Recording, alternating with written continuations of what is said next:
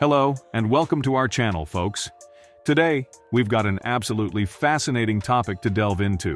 Brace yourselves, because we're diving into the remarkable world of engineering with a spotlight on the biggest tidal power project underway in Britain.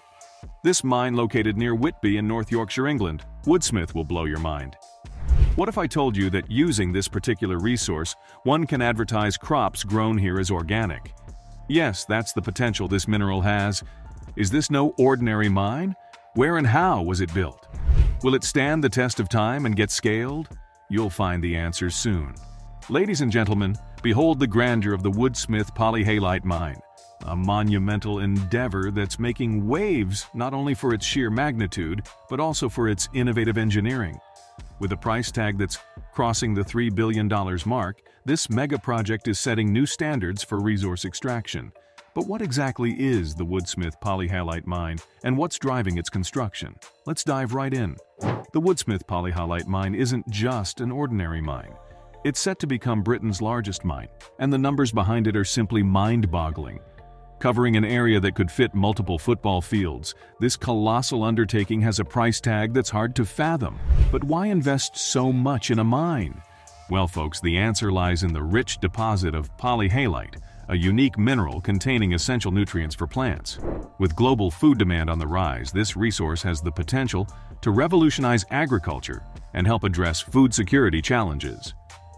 Polyhalite consists of potassium, magnesium, calcium, and sulfur primarily, but also various other micronutrients. From balancing nutrients to promoting sustainability and enhancing food security, polyhalite's multifaceted benefits are poised to make a lasting impact on our world. Now, let's get down to the nitty-gritty of the engineering marvel that is the Woodsmith polyhalite mine. Buried beneath the Earth's surface lies a labyrinth of tunnels, conveyor belts, and cutting-edge machinery. The mine utilizes state-of-the-art techniques to safely extract polyhalite, minimizing environmental impact and maximizing efficiency. It is an extremely efficient natural fertilizer. The company that is building this mine is called Anglo American, they simply grind and granulate the solid in order to extract the exact fertilizer called Poly4. Engineers and geologists have worked tirelessly to develop a system that ensures stability while excavating miles underground. The innovative use of technology, including precise drilling and rock monitoring, has allowed this mega project to become a reality. But it doesn't end with resource extraction, folks. The Woodsmith polyhalite mine also has a significant environmental and economic impact. One of the most awe-inspiring aspects of this project is its integration with renewable energy. The mine is set to house renewable energy facilities, tapping into the power of nature to reduce its carbon footprint and contribute to Britain's clean energy goals. Traditional fertilizers often focus on one or two nutrients, which can lead to imbalances in soil and potential environmental damage.